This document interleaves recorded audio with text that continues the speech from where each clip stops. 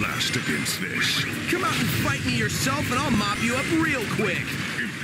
La copia fantasma de Sabok fue el, al huevo de la muerte donde Sonic estaba prisionero para desterrar al erizo al espacio como Eggman quería.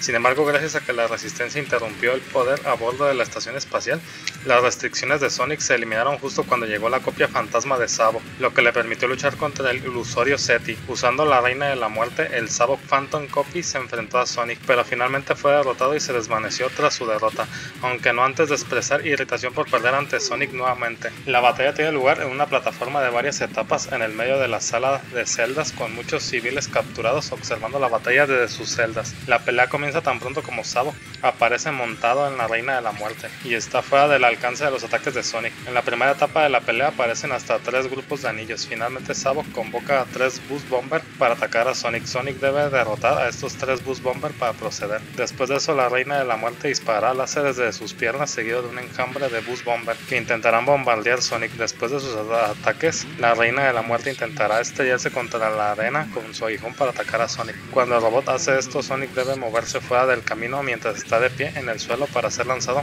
hacia arriba en el aire y desde allí puede golpear a Sabo con un aluvión de Omin Attacks para dañarlo. Sonic tampoco debe saltar cuando la Reina de la Muerte golpea el suelo, perderá su oportunidad de atacar a Sabo y debe repetir la ola de ataques nuevamente. Después de aterrizar dos golpes en Sabo, la segunda fase de la batalla comienza con partes de la plataforma rompiéndose, dejando menos espacio para que Sonic se pare con más oleadas de Boost Bomber convocados para atacar a Sonic. En esta fase de la pelea, la, Reina de la Muerte comenzará a atacar directamente cargando contra Sonic con su aguijón. Sonic debe evitar este ataque dos veces. Sabo intentará aplastar a Sonic con el aguijón de la Reina de la Muerte de nuevo. En este punto Sonic debe evitar el ataque, saltar y repetir los procesos de Omni Attack Sabok dos veces más hasta que Sabok esté en su último punto de golpe. Después de eso el juego cambia una escena en la que Sonic salta a la Reina de la Muerte y le da una paliza al Seti rojo, sacando su último punto de golpe y terminando la pelea. Me. I insist. You're insisting. Whoa.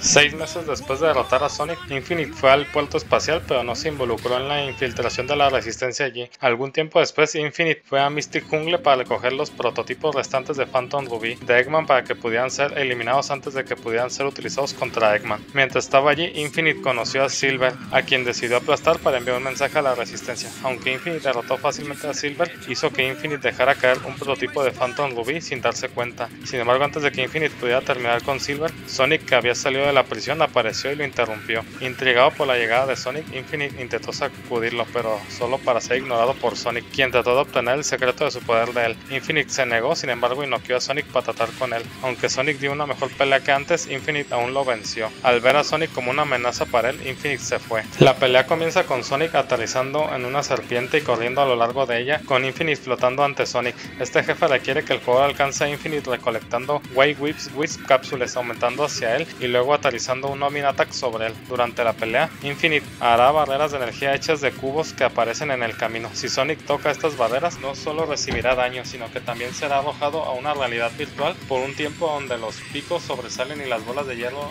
reales ruedan a lo largo del camino en el que Sonic corre. Después de golpearlo, Infinite cambiará su patrón por las barreras de energía que coloca y el jugador debe repetir el proceso dos veces más. Después creará copias fantasmas de sí mismo y Sonic saltará de la serpiente y rebotará en los manantiales para Luego saltará a través de las copias fantasmas, con continuos ataques Omni para golpearlo nuevamente. Una vez más, Sonic correrá sobre la serpiente persiguiendo a Infinite. Después de que esté a la mitad de la vida, Infinite producirá barreras de energía que vienen a Sonic desde un lado. Salta para evitarlos, luego hace otro Omni Attack en Infinite cuando Sonic se acerque lo suficiente. Cuando Infinite esté en su último segmento de vida, hará la misma estrategia de crear Phantom Copies mientras Sonic rebota en el aire desde sprints, solo que esta vez producirá aún más Phantom Copies. Continúa haciendo ataques Omni en las copias fantasma hasta que Sonic llegue a Infinite dando el golpe final y terminando la pelea.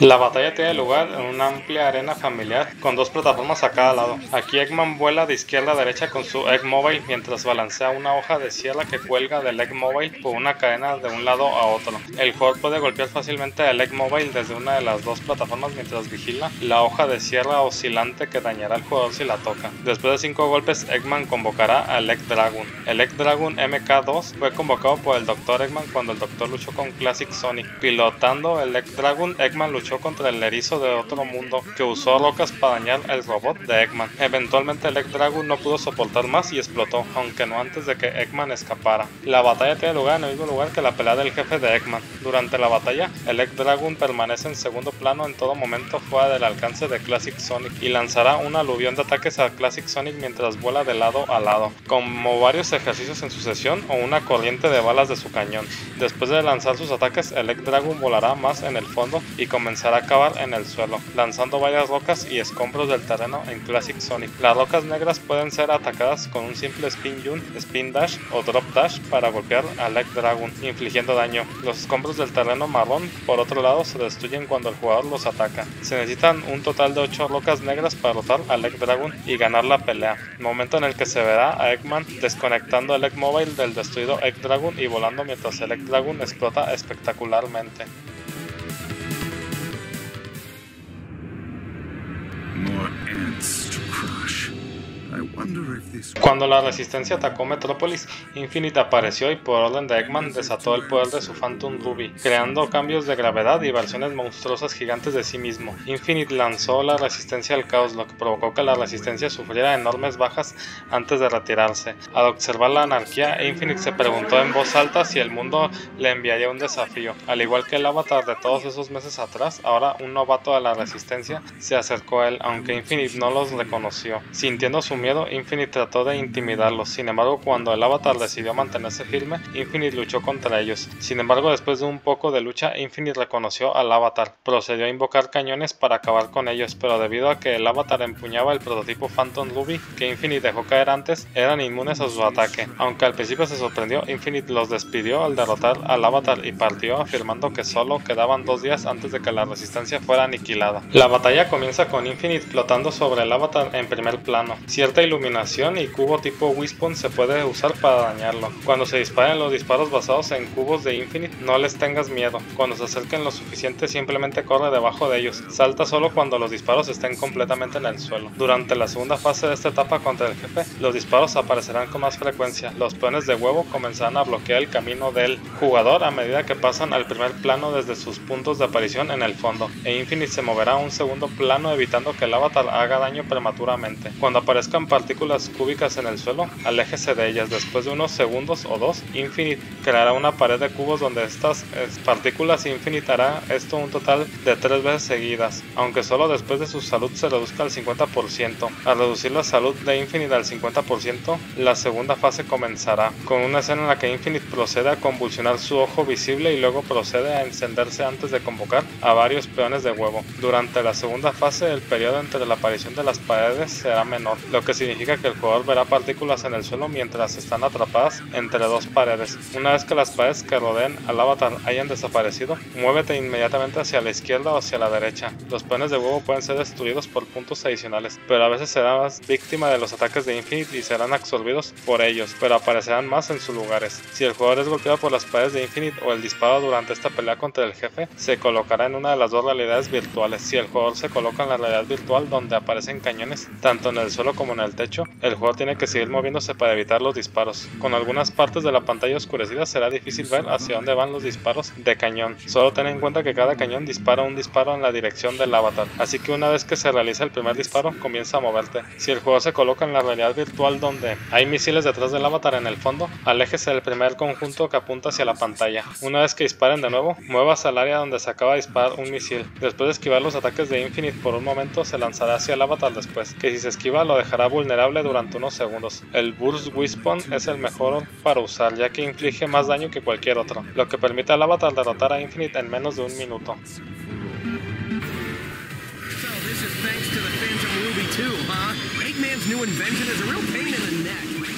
Después de que el jugador pase algunos postes estelares en el puente Red Gate, la copia fantasma de Metal Sonic aparecerá en el puente y procederá a huir del jugador. A lo largo de la batalla una pared de cubos de energía perseguirá al jugador, causando daño si no se mueven lo suficientemente rápido o se detienen en su lugar durante demasiado tiempo.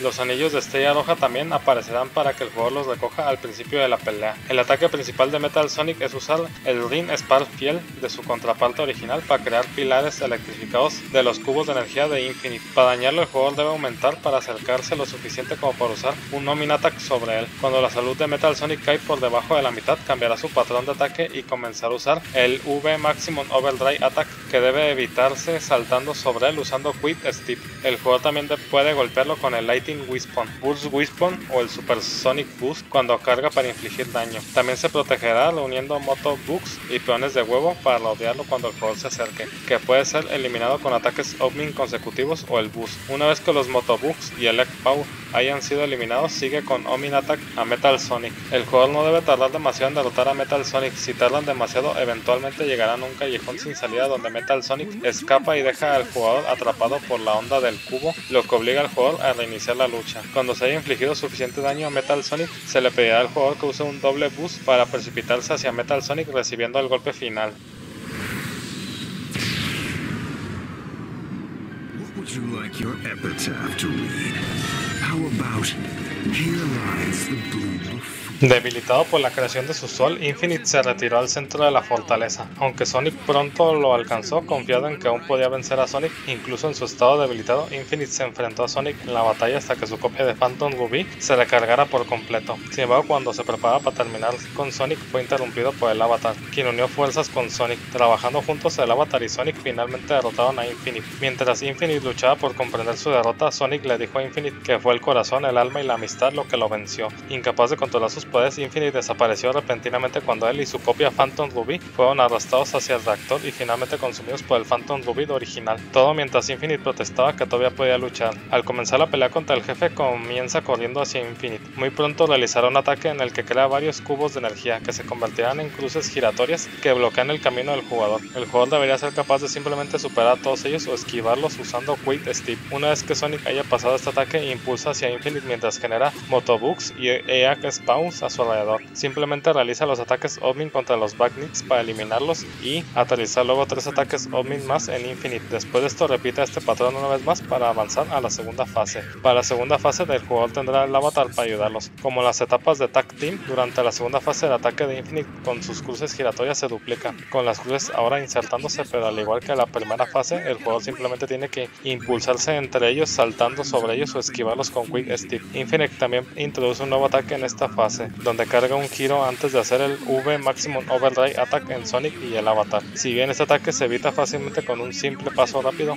es mejor contrarrestarlo con el Drill Wispon completamente cargado o el ataque aéreo del Cube Wispon para infligir un daño masivo a Infinite y cancelar el ataque. A veces en esta fase Infinite no tiene motobugs y Egg Pounds rodeándolo y simplemente flota frente a Sonic y el Avatar. Impulsa hacia el Infinite y realiza hasta tres ataques Omni contra él. Si el jugador es golpeado por las cruces de Infinite o Maximum Overdrive, se colocará temporalmente en una de las dos realidades virtuales. Si el jugador termina en la realidad virtual donde hay láseres verticales perpendiculares al suelo, avanza pero a un ritmo constante y se consciente de los láseres que salen del suelo. Simplemente salta sobre ellos para evitar ser golpeado. Si el jugador termina en la realidad virtual con láseres giratorios, avanza a un ritmo constante e intenta que Quip Steve se mueva en la dirección opuesta al láser giratorio para evitarlo. Durante esta batalla contra el jefe, ten en cuenta dos cosas. No te detengas en su lugar durante demasiado tiempo y no tardes demasiado en despejar la pelea contra el jefe. Si el jugador se para en su lugar, notará una ola de cubos de energía acercándose a Sonic y el avatar. Si el jugador queda atrapado en la ola, recibirá daño. Si el jugador tarda demasiado en terminar esta pelea contra el jefe, por otro lado, eventualmente se encontrará con un callejón sin salida donde Infinite vuela inmediatamente y deja que su onda de cubo se acerque a Sonic y el avatar, haciendo que el jugador reinicie desde el principio en la fase. Una vez que esté en una salud lo suficientemente baja, el jugador puede realizar un doble boost para acabar con Infinite.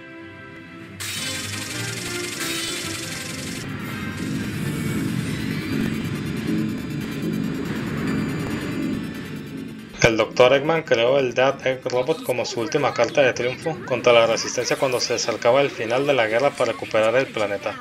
Este robot tenía el Phantom Ruby incorporado en él, permitiendo que la gema se mantuviera a salvo mientras los héroes apuntaban a lo que resultó ser un señuelo. Poco después de que este señuelo fuera destruido, este Dead Egg Robot hizo su aparición. Eggman veía a la máquina así como a sí mismo como el sucesor final de Infinite, conservando todas sus habilidades. Overcocleando el Phantom Ruby con su máquina, el Dr. conjuró miles de copias, fantasmas de Shadow, Metal Sonic, Sabo, Chaos e Infinite. Con este ejército masivo y su flota restante, el villano planeaba acabar con la resistencia y perfeccionar su gobierno sobre el mundo. Sin embargo, a pesar de sus probabilidades, Sonic, Sonic Clásico y el Avatar destruyeron por completo el robot huevo de la muerte, eliminando las copias fantasmas y devolviendo la paz al mundo. La primera fase del jefe tiene al jugador controlando a Classic Sonic y es completamente desde una perspectiva 2.5D. El jugador está parado en un grupo flotante de bloques púrpuras y uno por uno los bloques más a la izquierda desaparecerán, reapareciendo a la derecha. Este proceso eventualmente se revertirá con los bloques más a la derecha desapareciendo y desplazándose en el lado izquierdo, por lo que el jugador debe estar alerta y moverse rápidamente para mantenerse a salvo.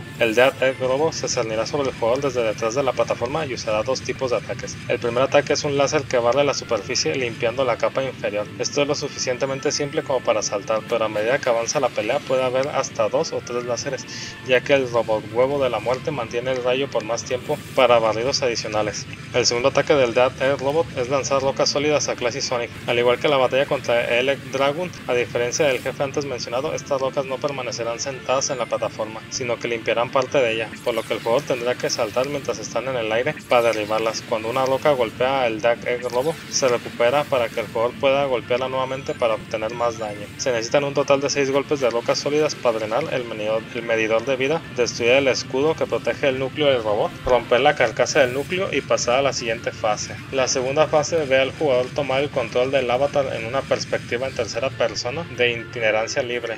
La forma en que se configura esta fase es similar a la batalla contra Sabo Phantom Copy al principio del juego. Al principio el Dead Air Robot solo tiene dos ataques, el primero de los cuales es golpear su brazo izquierdo o derecho contra la plataforma creando una serie de ondas de choque rojas que deben saltarse. El segundo ataque es un aluvión de misiles disparados desde los dedos del robot que son relativamente fáciles de evitar, especialmente si el jugador está usando un Wispon de largo alcance. El jefe también convocará a los peones de huevo para que se interpongan en el camino del jugador. El jugador tiene tres opciones para dañar al jefe. Puede esperar a que el jefe golpee el suelo con su brazo derecho y usar su Wispon o un ataque de alambre en el núcleo, que hace más daño, pero es peligroso de lograr. La segunda opción es atacar su brazo derecho directamente cuando se golpea, lo que causa poco daño, pero es mucho más seguro. También se proporciona un Wisp índigo si el jugador está usando un Wispon de esteroides. Los Wispon Lighting, Over Wispon y Burst Wispon funcionan para dañarlo, pero otros Wispon no lo hacen. Un Wispon debería infligir un tercio de daño a la salud del Dead Egg Robot. En la segunda mitad de la pelea, el robot huevo de la muerte comenzó a destruir piezas de la arena golpeándola con su puño izquierdo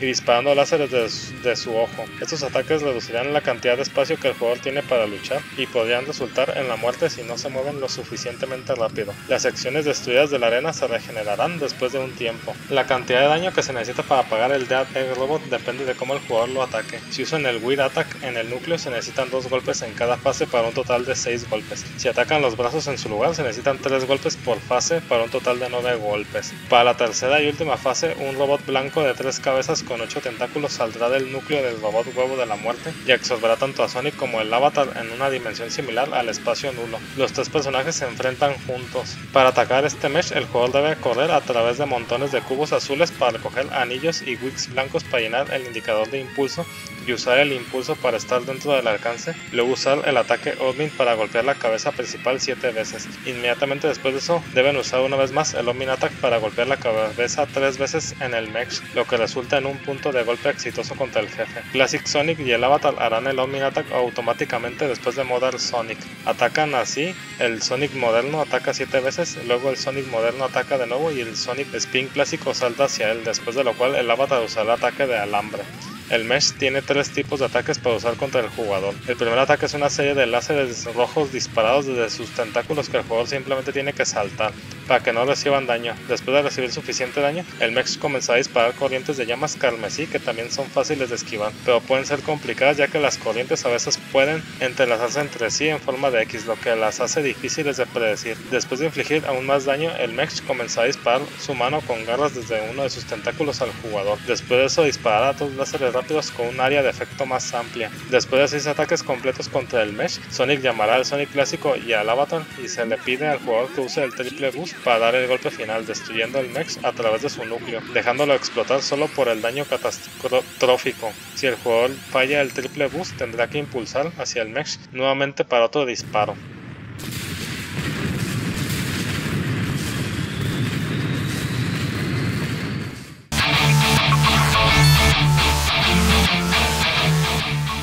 Y así terminamos con este video. Si te gustó no olvides darle like, compartir y suscribirte. Yo soy Mike, nos vemos hasta la próxima.